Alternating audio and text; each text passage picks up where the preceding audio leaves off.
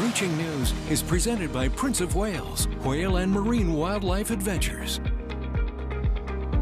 Oh, here's a good shot. This is Split Fin, born in 2006 to its mom, Big Mama, which we talk about lots. Tess and I got a chance to see Big Mama actually out yes. in the real world. Uh, based on interactions with other whales and the lack of calves, split fin is presumed to be male. The name split fin origin uh, comes from his damaged dorsal fin, making him easy to identify. He's beloved by the researchers and enthusiasts. What a great shot. A great shot. Uh, to maintain their body heat in the cold oh. ocean water, sea otters have a high, metal high metabolism, easy for me to say. They must eat approximately 25 to 30% of their body weight daily.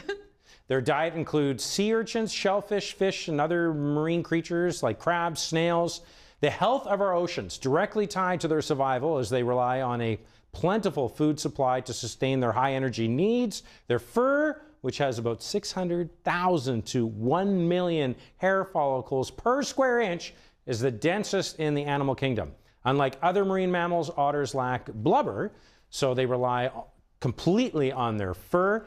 Uh, this unique fur, of course, was a major factor in their near extinction. And I think that's Ollie the otter it could be Ollie. Rocks. We got to see him once. I got to see him out there. I've seen Ollie. And I yeah. didn't even know that we had these types around. Sea otters are very rare here. What we normally see are river the otters. The river otters. Yeah which aren't adorable like Well, they're this. not as cute. They're just not. Uh, the tail, sorry if they're watching. The tail fin or the fluke of an orca, crucial for swimming, obviously, and communication, allowing these whales to move through the water at speeds of up to 300 kilometers an hour in short bursts. Killer whales also frequently use their flukes to slap the water's surface to communicate when hunting, socializing. Now, the scars, nicks, and even the shape of their flukes can help identify individual whales. 300 kilometers an hour? No, 30.